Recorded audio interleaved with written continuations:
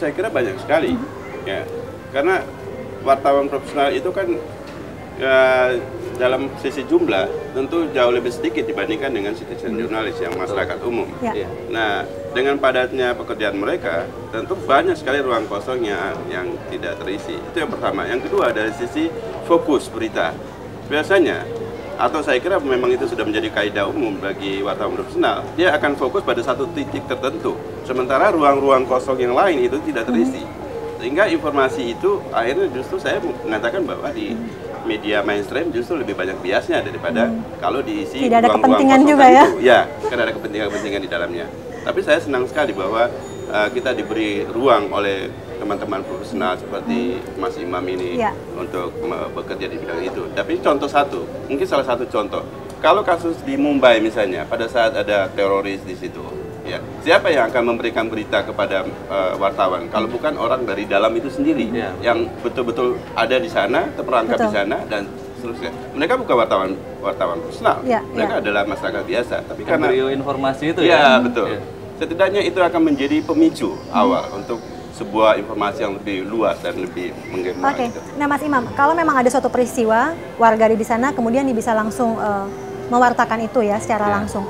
Nah, tapi kemudian jika tidak ada suatu peristiwa, apa aja sih yang bisa dijadikan bahan berita oleh seorang warga yang mungkin eh, ingin menyampaikan informasi kepada masyarakat luas? Ya, kalau kita mau mem- istilahnya membuat suatu Ya. berita, itu pertama kan adalah eh, apa yang kita tahu, itu kan apa yang kita tahu, apa yang kita pahami, atau yang sering kita alami.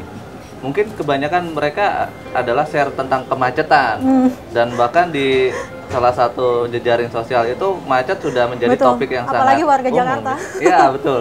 Jadi eh, sebenarnya banyak sekali gitu ya, misalkan kemacetan atau banjir yang tiba-tiba datang seperti kemarin itu. Dan bahkan tadi sebelum saya datang ke sini tuh tiba-tiba di depan kendaraan saya itu ada kecelakaan gitu kan, ada motor yang tertabrak, kemudian eh, korban terkapar gitu ya, dan saya sempat eh, mengabadikan dalam handphone saya gitu.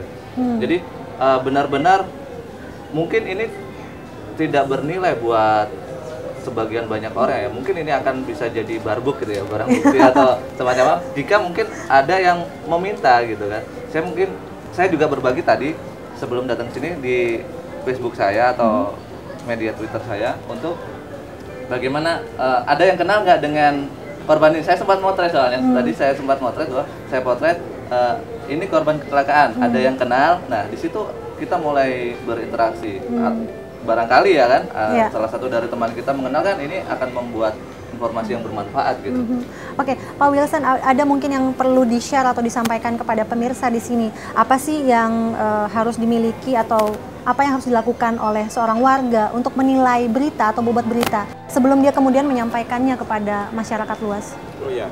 Em, Aspek apa aja gitu loh, ya, Pak? PPWI senantiasa mendorong masyarakat Uh-huh. untuk memberikan informasi dan berita kepada sesama warga. Namun demikian, informasi seperti apa yang kita inginkan adalah Uh-huh. lebih kepada pemberitaan positif atau ya jurnalisme positif ya. good news ya Ya, good news. Good news. Artinya good news is good news ya.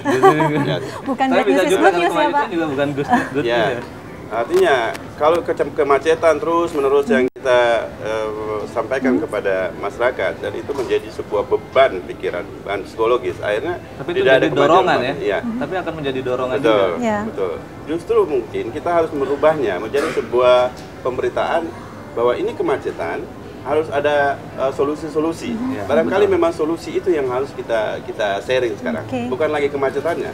Karena macet itu sudah setiap hari akhirnya membebani pikiran kita, kita makin kurus dan sebagainya. Negara ini nggak maju-maju. paling Oke. tidak government gerah gitu ya lihat Twitter yang begitu banyak Bisa macet, menjadi macet. social movement tersendiri ya? betul Ya pemirsa resensi masih akan kembali ke hadapan Anda untuk mengupas lebih jauh buku bertajuk Langkah Otomatis Jadi Citizen Journalist. Untuk itu jangan ke mana-mana, pastikan Anda tetap bersama kami.